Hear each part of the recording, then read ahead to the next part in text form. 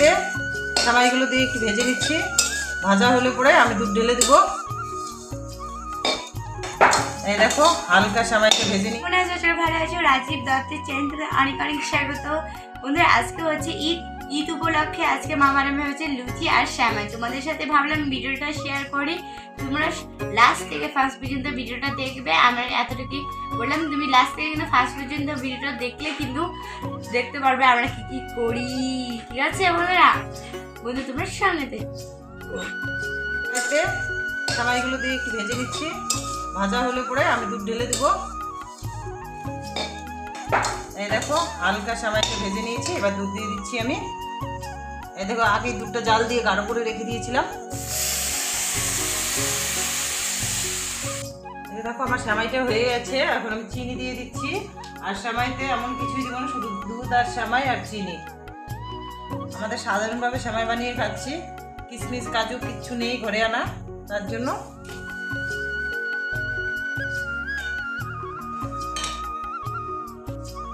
বন্ধুরা দেখো আমার সময় হয়ে গেছে। এখন আমি নামিয়ে দিচ্ছি। এখন পুরি ভাজবো। দেখো বন্ধুরা এখন এই যে পুরি ভাজবো। পুরি বেলে নিচ্ছি। অল্প তেলে কীভাবে পুরি ভাজি দেখো। আর বুঝতেই তো পারছ আমাদের সেরকম পয়সা করি নাই। পরে কি গরম করতে দিছো না? কড়াই গরম হয়ে গেছে সাদা তেল দিয়ে দিচ্ছি। আর সাদা তেল দিয়ে পুরি খাবার ও আজকে ঝোল দিবে না পুরিতে? না আজকে পায়েস দেবো না। পায়েস- ঝোল দিলে তো পুরিতে গ্যাস হবে না পুরি খেলে? না আজকে পায়েস দিয়ে খাব ভালো লাগবে পায়েস মানে যে দিয়ে। ও পায়েস মানে সামাই দিয়ে ঠিক আছে। হ্যাঁ। সেমাই তো পায়েস দেখো তো।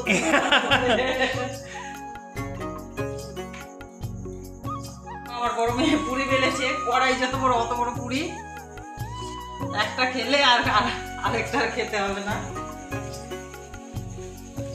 সেই ফুলেছে পুরিটা। ও কি সুন্দর। হ্যাঁ এই পুরিটা আমাকে দিও আমার যখন গরমে বিলেছি এত কষ্ট করে হ্যাঁ। আমি খাব। উল্টাও উল্টাও। এত সুন্দর ফুটেছে আর এত সুন্দর করে শ্যামে রান্না করেছ আমি এখন লোক সামলাতে পারছি না আমি খেয়েই নিব। তোমরা পরে খেয়ে তোমরা ভাজো।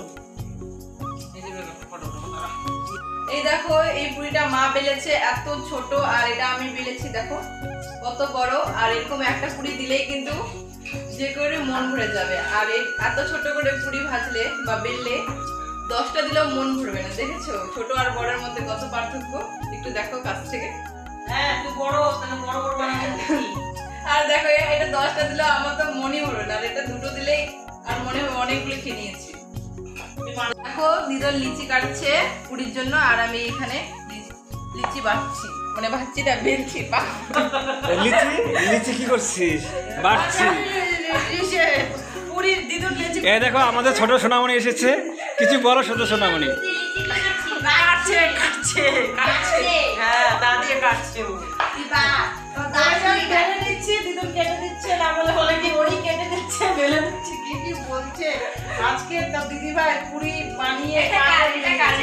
ওটা তোর জন্য। ওটা তোমার জন্য। আমি সোনামণি রাগ করেছে গাছগুলো খুলেছে তার জন্য পুরিটা খোলা দিয়ে দিই। দে একটু দিয়ে দিয়ে দে যেন করে খেয়ে দেখ কেমন হয়েছে। জামাইটা দেখ আগে দেখ লুচিটা আমি আজকে খাব। তুই বানিয়েছিস না? শুনলাম তো আমি। এই দেখ না তোর জন্য তোর দিদি ভাই এত সুন্দর করে পুরি পেরেছে আ বাড়ি হয়ে দেখ দেখ কেমন দিদিভাই দেখো দিদিভাই লুচিটা বানালো কত সুন্দর হয়েছে। লুচিগুলো হয়েছে।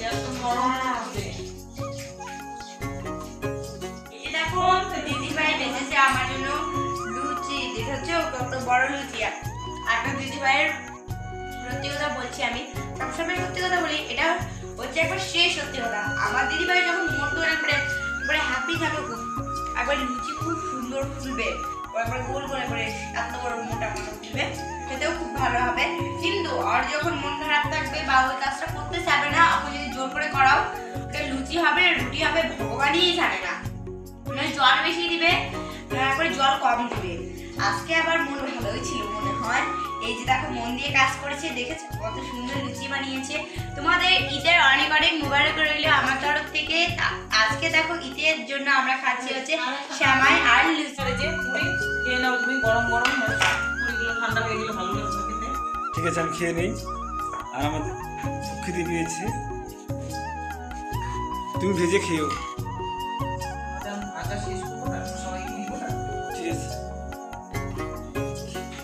সকাল দেখো বাবা, ঘুম থেকে উঠে পড়েছে। এই যে দেখো, সকাল সকাল আজকে কাজ করা শুরু করে দিয়েছে। কালকে রাত্রে খুব বৃষ্টি হয়েছিল, তার জন্য এই যে দেখো, উঠানটা একবারে ভিজে গেছে।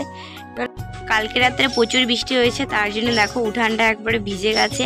আর বাবা আজকে গোবর ছড়া দিবে না, কেন সূর্য উঠে গেছে তো, আমাদের মন্দির নিয়ম, সূর্য উঠলে পরে আর গোবর ছড়া দেওয়া যায় না। এই যে দেখো মা, সকাল সকাল ঘুম থেকে উঠে ব্রাশ করে এই যে দেখো, এখন শুতে যাচ্ছে, কেন কাজ নেই তো? আর আমি দিদিভাই দিদিভাই উঠে পড়েছে। কারণ দিদিভাইয়ের প্রাইভেট আছে, তার জন্য দিদিভাই উঠে পড়েছে। দিদন আর আমি এখনও ঘুমাচ্ছি। মা ঘুম থেকে উঠে ব্রাশ করে আবার শুতে চলে গেছে। ও আবার উঠান টুঠান হয়ে গেল, তাড়াতাড়ি করে উঠানটা সরিয়ে নেবে।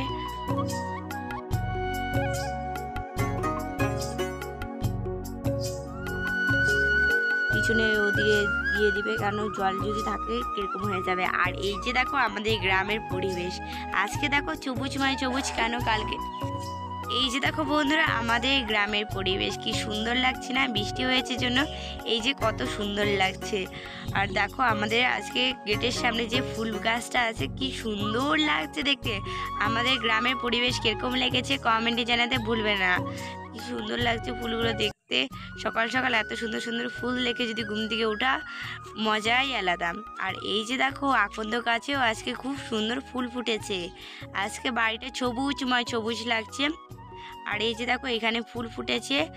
আর গোলাপ গাছটাও আজকে তাজা মনে হচ্ছে, কেন অনেক রৌদ্র উঠেছিল তো, তার জন্য আজকে আবার বৃষ্টি হলো। কি সুন্দর লাগছে সারাদিক সবুজময় সবুজ।